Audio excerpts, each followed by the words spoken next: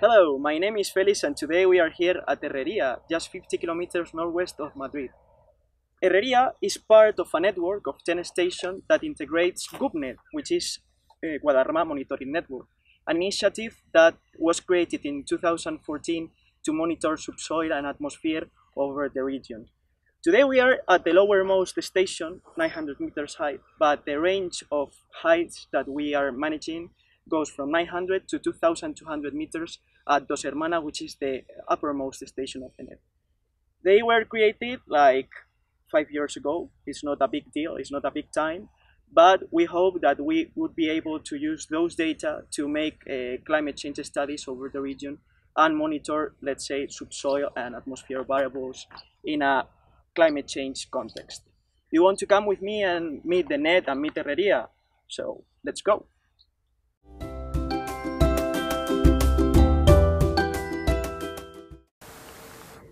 Let me introduce you to Cristina. She's a technician of the network, as I am, and she will tell you about the station, the feeders, and instrumentation that integrated Herreria.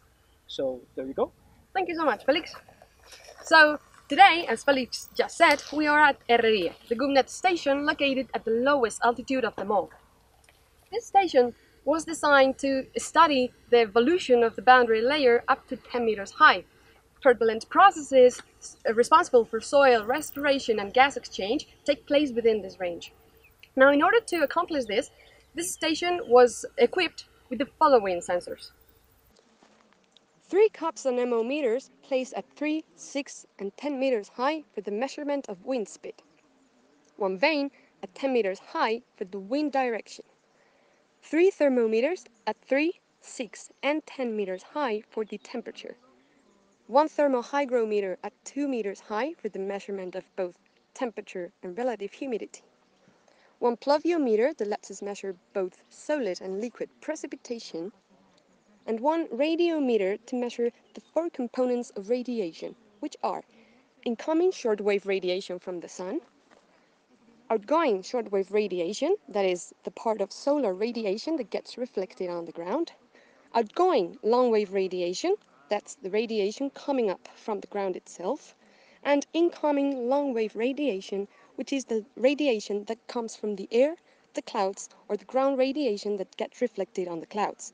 As a result of these components, albedo, or radiative net balance, can be calculated. Now, all these sensors take measurements at a frequency of 1 Hz, average to 10 minutes. However, there's this one sensor that takes measurements at the very high frequency of 10 Hz, that is, 10 values per second.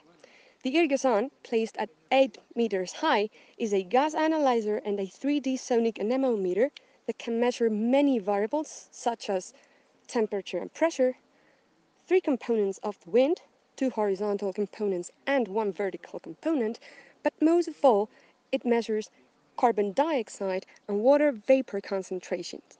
This allows us to calculate turbulent fluxes, heat fluxes, eddy covariance, etc.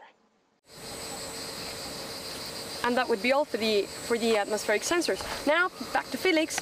He will tell you all about uh, soil instrumentation. Thank you, Christina. Well, she has told you that we have many atmospheric sensors that tracks the, the atmospheric state, but we also have subsoil sensors to track how the temperature, humidity and electrical conductivity change with depth underneath our feet. So basically what we have in this station and at most of, of the mm, stations of the network is two boreholes, one of two meters deep and the other one goes down to 20 meters. And those boreholes are basically obtained by drilling a hole into the soil, into the ground, putting a case and then filling the, the case with, uh, with uh, silicon gel. Sensors are embedded inside. And then what we have are two trenches one of 4 centimeters, this is really shallow, and a deeper one of 1 meter, where sensors are just put into a wall. We dig like a hole, as you can see here, and we insert the, the sensors into the wall, measuring temperature, electrical conductivity, and humidity.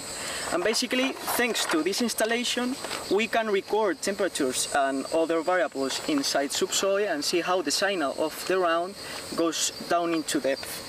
And all the data that we have been talking about, like the atmospheric uh, data, the subsoil data, are recorded in a special device called data logger that then send the data to us, to the physics uh, faculty that we work in, Christina and me, and where we both process the data to give support to our, our users, let's say.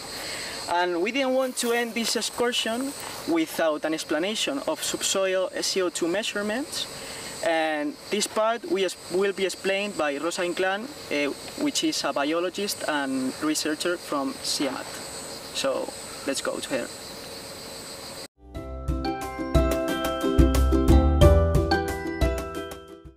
There are different methods to measure soil respiration. The most used is chamber method which provide direct measurements of soil respiration at the soil surface. I am measuring soil respiration using an automated portable eh, system LI-COR 8100 including a 10 cm chamber. The yellow case contains the CO2 detecting sensor and IRGA infrared gas analyzer. I have inserted many collars in the area of the tower in order to cover the spatial variability of soil respiration. The soil respiration measurements begin closing automatically the chamber.